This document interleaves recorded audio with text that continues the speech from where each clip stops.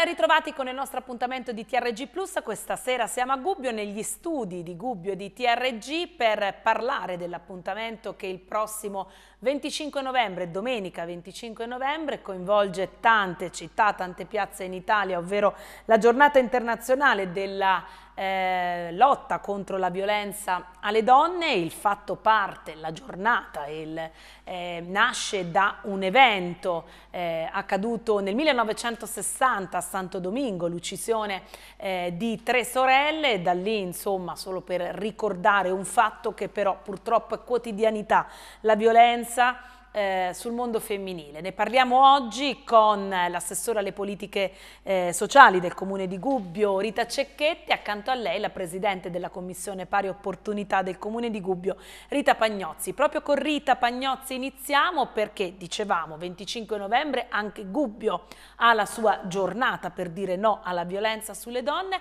ma gli appuntamenti sono cadenzati già a partire da domani. Esattamente, e sarà il nostro ultimo 25 novembre secondo questa formazione della Commissione perché la Commissione è stata nominata eh, in concomitanza con le elezioni amministrative, quindi eh, finendo i cinque anni di amministrazione eh, dell'amministrazione stirati, eh, anche noi eh, terminiamo il nostro mandato. E quindi abbiamo pensato di chiudere questo ciclo con una somma in qualche modo di quelle che sono state le attività che abbiamo portato avanti in questi anni. E in questi anni noi abbiamo diciamo, introdotto una novità che sono stati degli incontri con il territorio e sul territorio cubino, quindi nelle varie frazioni, noi abbiamo parlato di violenza di genere, di pari opportunità, di violenza assistita che è quella eh, a cui assistono i bambini in una famiglia e di violenza economica eh, perpetrata ai danni della donna sui luoghi di lavoro, ad esempio. Ed infatti partiamo, come dicevi, domani, 21 novembre, con un film al Cinema Astra, quindi uno dei più classici appuntamenti della Commissione Pari Opportunità. Eh, ci vedremo insieme il 21, quindi alle 21, ehm, e mh, assisteremo alla proiezione eh, di un film dal titolo L'affido. È una storia di Xavier Lagrande, a cui peraltro è valso anche Leone d'Argento a Venezia per la regia, come opera prima di Luigi De Laurentiis. E, um, nel film um, il tema trattato è um, la separazione di due genitori con conseguente danno uh, a carico del figlio perché è un po' inizialmente conteso e poi quando, vabbè non voglio andare oltre troppo Lasciamo, insomma nella trama, ecco, esattamente. spazio a chi verrà, se no non vengo. Ciò che mi interessa sottolineare è che alla fine del film poi incontreremo il pubblico supportati da degli esperti in materia, quindi insomma cercheremo di fare anche un confronto aperto sul tema di cui abbiamo trattato. Eh, il 24 novembre invece alle 10 alla Sala degli Stemmi, quella in Piazza Grande, ehm, lanceremo la campagna del fiocco bianco, lo faremo in conferenza stampa eh, come l'anno scorso, ehm, la campagna del fiocco bianco che è una campagna eh, promossa dagli uomini che hanno deciso di indossare simbolicamente questo fiocchetto bianco proprio per combattere la violenza alla donna. Il fatto è partito dal Canada questa volta, eh, dove furono uccise 14 attiviste femministe eh, per mano di un antifemminista e quindi poi da lì alcuni politici canadesi decisero di indossare questo fiocco bianco.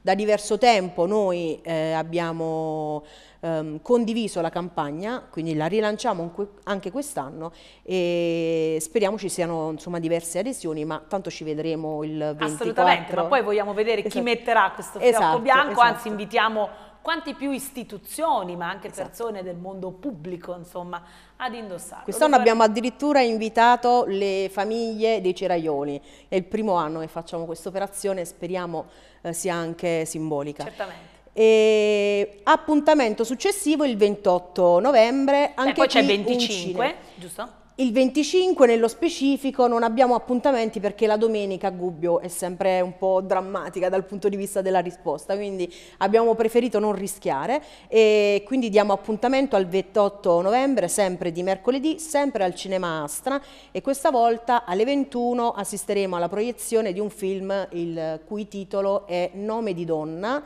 la firma è quella di Marco Tullio Giordana, la regia, eh, l'interprete femminile è Cristina Caputondi che è bravissima e eh, tra gli interpreti maschili, lo voglio dire, risulta anche Valerio Binasco che è strepitoso sia a teatro che al cinema. Quindi assolutamente già per questo da vedere.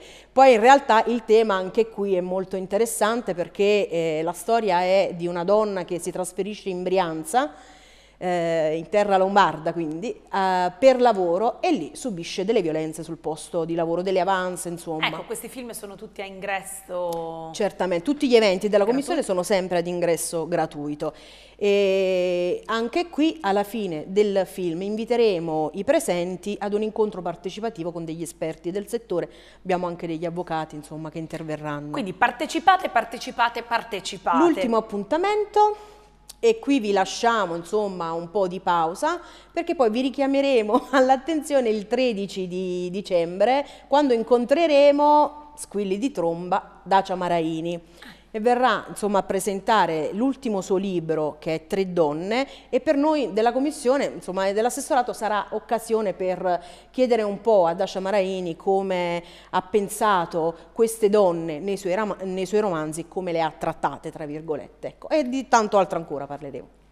Rita Cecchetti, ehm, l'omonima Rita Pagnozzi parlava di una... Eh, parlava di una commissione pari opportunità che insomma è arrivata anch'essa a fine mandato, sì. mh, mm, come d'altro canto l'amministrazione Stirati la prossima primavera. Eh, che cosa avete fatto? Che cosa si è fatto per, per le donne, per questo tema che purtroppo è sempre più attuale. Abbiamo eh, già solamente in questi giorni no, raccontato nuovamente nelle cronache di una donna eh, che è stata eh, colpita con l'acido da un suo ex, quindi insomma ormai sono troppo quotidiani questi fatti. Cosa, come avete operato?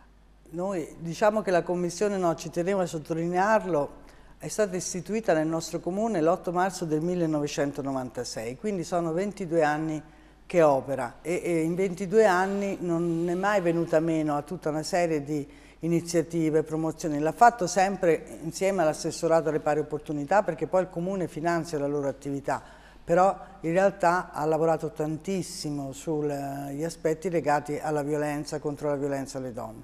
Nel mm, periodo del mio mandato noi abbiamo, aperto, era stato aperto da poco, c'era la commissaria, un punto di ascolto eh, contro la violenza alle donne e questo punto di ascolto ha funzionato perché una, uh, tra, perché ogni anno ne arrivano alcune, cioè perché il fenomeno è sommerso, è aperto due volte alla settimana, si può telefonare al 075 9237 513, se mi interessa sempre ricordarlo, è il eh, martedì mattina e giovedì pomeriggio. Tro si trovano sempre persone in grado di ascoltare e di accogliere eh, persone che sono state formate. Ha avuto l'impulso dalla Commissione e dal Centro per le Pari Opportunità, però noi abbiamo continuato a, anche a formare altro personale, per esempio le persone che stanno all'accoglienza lì al segretariato sociale sono persone formate, quindi appena uno anche in un altro giorno vuole rivolgersi al comune può farlo perché magari poi verrà preso un appuntamento. E la stessa cosa, eh, altrettanto poi importante, è il fatto che abbiamo lavorato all'interno delle scuole. L'hanno portato avanti la Commissione con dei progetti contro gli stereotipi di genere, ma come comune noi avevamo inserito in un protocollo d'intesa che riguardava le scuole di ogni ordine e grado il fatto che eh, di questo aspetto dovesse comunque parlarsi. Insieme a tanti altri abbiamo fatto sinergie virtuose per abbattere, no, le, le, per far incontrare le famiglie, la scuola, i servizi rispetto al problema dei bambini con bisogni speciali, però questo aspetto anche era stato inserito. E io voglio dire che mh, noi abbiamo poi sui servizi sociali, proprio perché il welfare è strettamente connesso con, col problema delle donne che si occupano del lavoro di cura in famiglia, questo lo dobbiamo continuare a dire, abbiamo, noi abbiamo mantenuto il livello dei servizi sociali nonostante ci fossero delle difficoltà finanziarie, abbiamo mantenuto comunque i nidi che adesso sono, uh, addirittura comincia un po' una lista d'attesa rispetto agli anni passati, abbiamo fatto un questionario sul grado di soddisfazione, noi abbiamo una realtà che copre con il comune la maggior parte dell'offerta rispetto ad altri territori come Perugia, sarà adesso verso, sul 27% del comune e 8% privati. Considerate che sono regioni dell'Italia dove c'è il 2,1%. Quindi insomma siamo insomma, avanti. Rispetto a questo, ha, cioè, però abbastanza avanti stante la situazione di difficoltà finanziaria che attraversano gli enti locali. Ci tenevo a dire però che noi oggi dobbiamo uh, essere molto attenti perché a livello nazionale sta andando avanti il decreto cosiddetto, il di legge, scusate, disegno di legge del senatore Pillon che prevede da un lato apparentemente un discorso assolutamente giusto che nel momento che c'è una, no, una separazione l'affido deve tener conto di entrambi i genitori perché entrambi sono estremamente importanti per l'educazione e, e la, vita, la qualità della vita dei figli però introduce degli, degli elementi come l'obbligo in caso di separazione di pagare un mediatore familiare che, che le donne che spesso hanno grandi difficoltà rispetto agli uomini ancora circa il 50,7% non ha un lavoro stabile o un reddito basso, la violenza è anche un po' la, è anche questa è, economica, economica, e di fatto saranno penalizzati. E come anche il discorso che in caso di violenza, che spesso no, viene conosciuta dai servizi, viene segnalata ai carabinieri, prima che ci sia la, sentenza, ah, in questo caso, in caso di separazione, rimane il discorso della l'affido condiviso anche al coniuge che è, è violento. violento. E, è vero che non c'è una sentenza, ma se c'è una segnalazione, un'azione di servizi, cioè, cioè, io credo che questo aspetto... Quindi questo costringe in qualche modo la donna che è vittima a, ad avere... Eh come dire, ancora un rapporto quantomeno visivo con sì, il anche, coniuge violento. E anche ah, costringe anche il, il figlio, figlio, ad essere presente. Cioè, questi aspetti, io credo su questi aspetti è inutile, cioè, eh, non, non, voglio mandarla tutta su, su una, no, una, politica di parte, però io credo che le donne si stanno muovendo, un aspetto estremamente importante, eh, bisogna evitare che così come è stato presentato questo disegno di legge venga approvato. Quantomeno va modificato. Va assolutamente modificato in queste parti che sono delicatissime. Insomma. Una pillola, eh, Rita e poi anche l'altra Rita, su questo chiediamo. Eh, abbiamo parlato di queste iniziative relative al 25, abbiamo parlato di quello che è stato fatto in, questo, in questi anni.